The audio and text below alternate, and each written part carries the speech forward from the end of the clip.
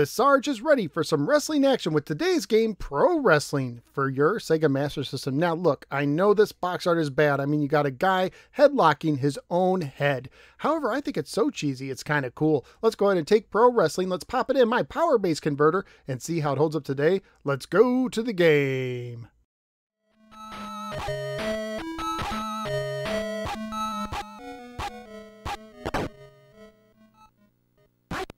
Pro Wrestling was published by Sega and carries a copyright year of 1986. It is based on their arcade game Body Slam, which contained an all female cast including members from All Japan Women's Pro Wrestling. However, this port contains an all male cast of generic wrestlers.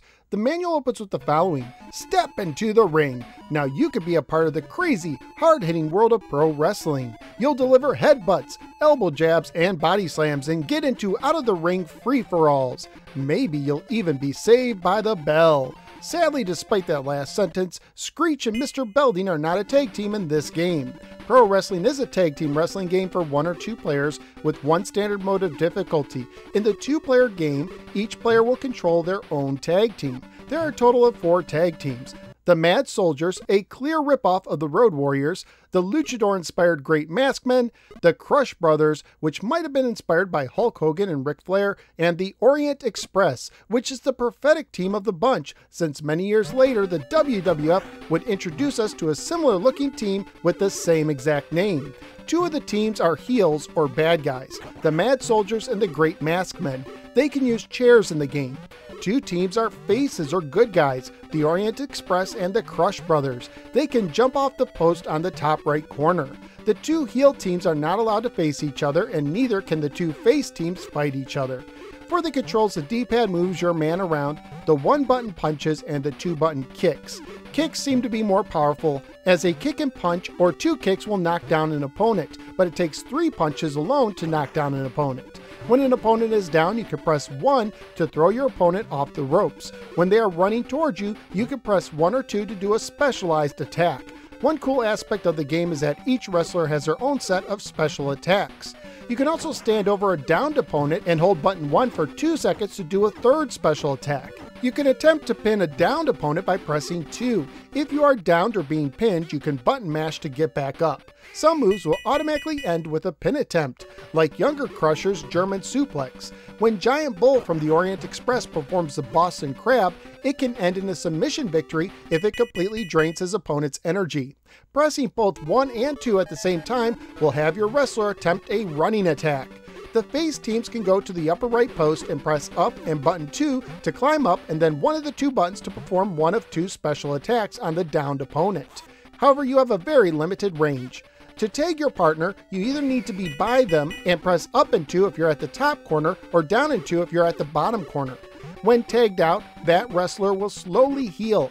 Your wrestler could jump out of the ring by going down to the bottom and pressing down and 1. To return to the ring, you must press up and 1. While out of the ring, the ref will start counting. If he gets to 20 with a wrestler out of the ring, that team loses. A double countout can also happen if both wrestlers are still out of the ring at 20. At the 2 minute and 1 minute mark, a chair will appear outside the ring. The good guys can touch it to make it disappear, but the bad guys can pick it up and press 1 to swing it. They can even bring it back into the ring. However, it disappears after they swing it 3 times or if they get knocked down.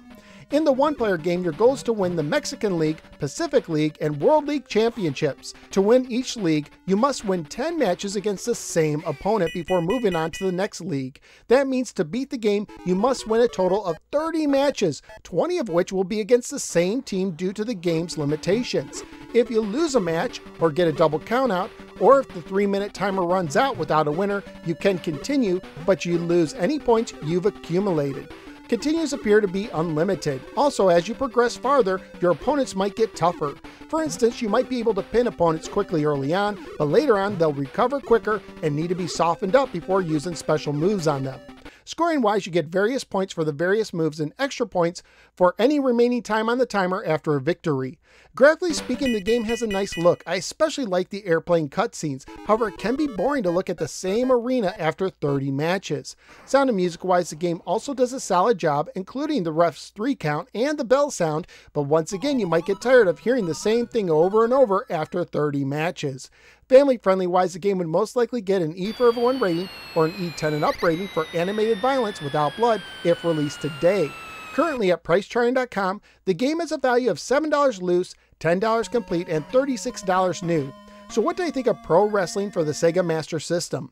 On one hand, I like the colorful wrestlers and how they all have unique moves. The basic fighting takes a little bit to get used to. Just button mashing punches and kicks won't work that well, as they need to be timed just right. But on the other hand, sometimes they don't take effect until a split second after they're thrown. However, I was able to quickly get used to it, and honestly, the computer never posed a real challenge once I did. My big complaint with the game is the sheer length of the single player game. Playing 30 matches is simply too much, especially when facing only two different teams. It just gets monotonous after a while. This is a game where I don't mind playing a small handful of matches, but 30 is exhausting. So where am I going to rank pro wrestling? Sadly near the bottom. I like the variety of levels of Dead Angle more at 8, but I will give this an edge over Rocky at 9, since Pro Wrestling controls better and has a better variety of moves. So out of the 11 games are now ranked for the Sega Master System, Pro Wrestling is doing a brainbuster at the 9 position. Pro Wrestling has a good look and some cool wrestlers, but the fun isn't enough to survive 30 matches. But that's just my opinion. What do you think? Let me know in the comments below. Also, please like, share, and subscribe. Follow me both on the Facebook and the Twitter, and click the bell so don't miss any future videos. At this time, I'd like to thank Intellivisionary Rick for his generous support on Patreon. If you enjoy these videos and appreciate all the work that goes into them, please consider becoming a supporter at patreon.com slash gamer. Not only will it give you some warm and fuzzy feelings for supporting the show, but you'll also gain access to some exclusive content. Thank you for giving me a little part of your day and I look forward to see you next time on the next episode of the No Swear Gamer. Take care, especially when your opponent is holding a chair.